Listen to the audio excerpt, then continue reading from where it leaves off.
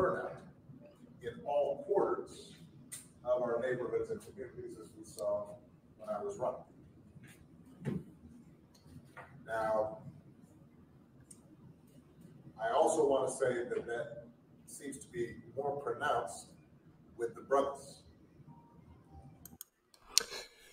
Guys, welcome back to the channel, guys. If you like what you see, like, subscribe, share this video. This is a defeated Barack Hussein Obama.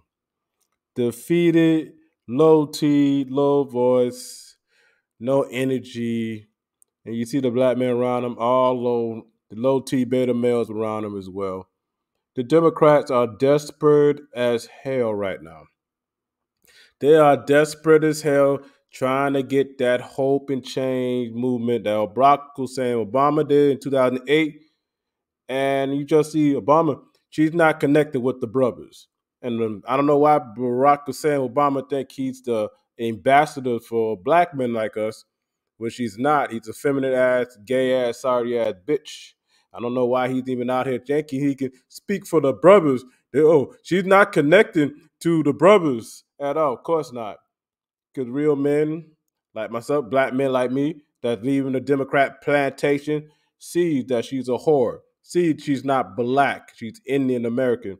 Like that. She she have nothing and offer nothing to not just black men, men in period. at pit at all. Only thing she's here for is a is feminine cat ladies that want to kill their babies and push and power on dominance on the men. Feminist movement.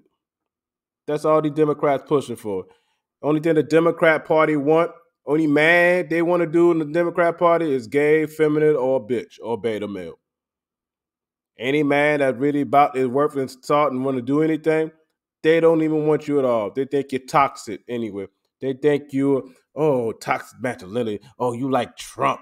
Oh, I know I can't you stand that man and stuff like that and they are desperate as hell. Barack Hussein Obama is speaking today, oh, at one of the press um, rallies and stuff. They're desperate as hell. They got Barack Hussein Obama speaking out. They banging out Bill Clinton and stuff. Oh man, these guys are pulling everything, all the stops out. They're desperate as hell, guys. They are desperate, and we're gonna show some more clips here. They're not only desperate, but it's also some scary reports as some top House Democrats say, they may not certify the election if Trump's win.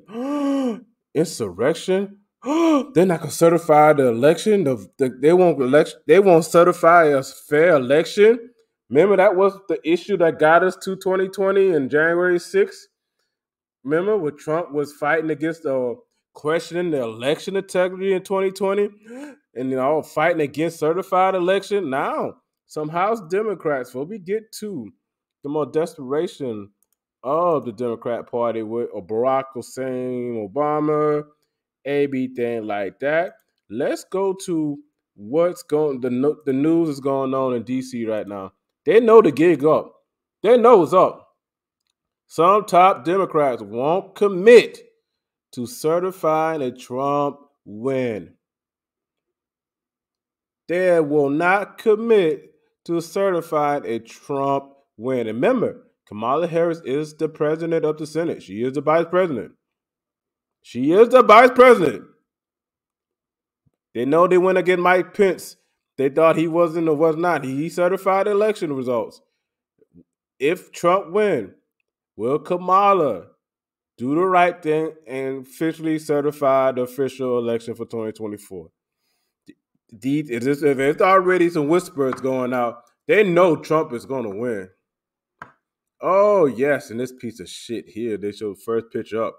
House Democrats rail against House Speaker Mike Johnson for hedging on whether a GOP controlled House will certify Kamala Harris victory. But some of those senior members are playing a similar game. Hmm. Why it matter? Those Democrats are trapped between their deep distrust of Donald Trump and the rhetoric disconnect of any election challenge in the years since January 6 attacks.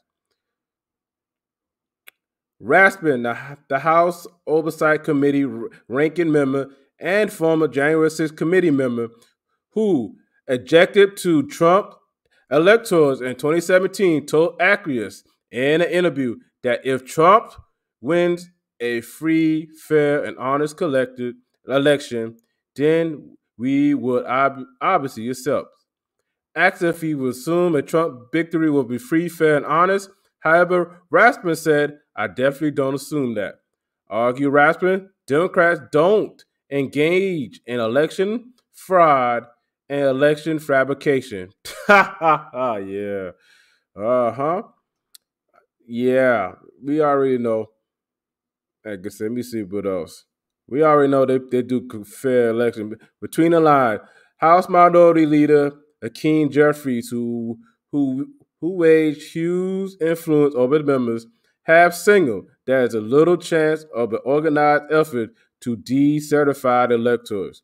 House Democrats are going to do everything necessary to ensure that the riders, the winner of the presidential election, is certified on January 6th without drama or conscripted, Jeffrey said at the September press. House Administrative Administrative Committee ranking member Joe Morelle, Jeffrey's top deputy on election um, and administration issues, have similar similar statements.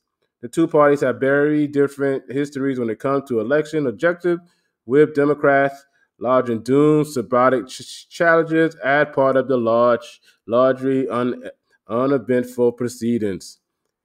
Like I said, these guys are already spitting that out slowly, slowly.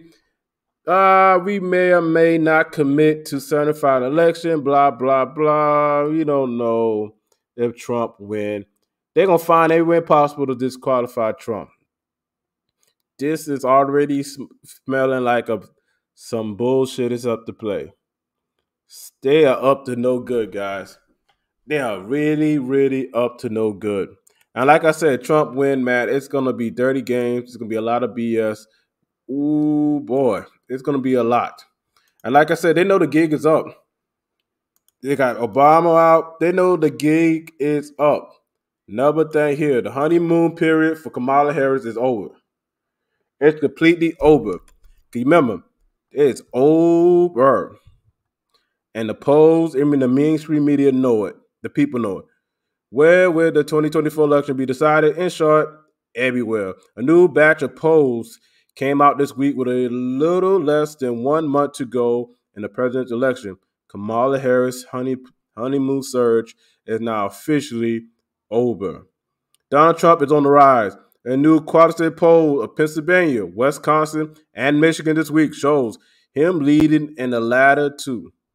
Real clear polit- politics polling average now has him ahead for the first time in months in the state of Michigan, a state which spun Hillary Clinton in 2016, but flipped back to the Democrats in 2020.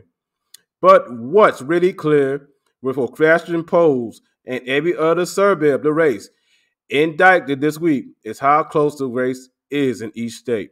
No candidate have a lead higher than the lowest single digit in more than half dozen states, all which will play a significant role in the electoral college. But what does that mean? It means we have no idea what the electoral college results is actually going to look like.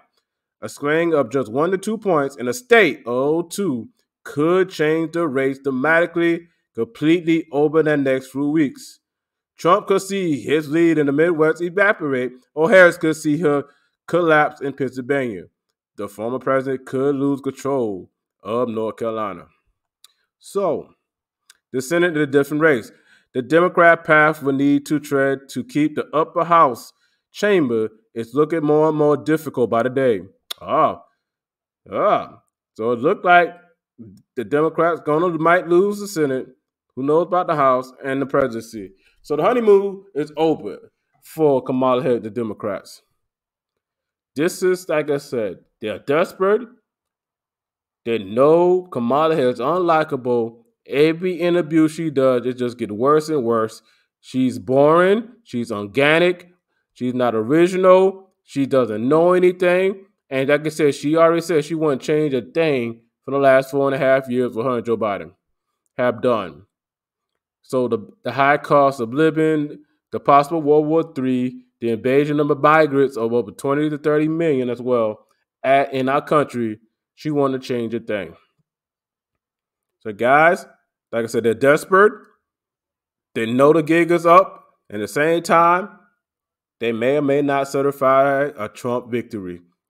Mm, this seems like war to me. They're going to do whatever they can to keep Donald Trump out. Like I said, guys, even with a Trump victory, even if they certify everything, we have to fight harder than ever.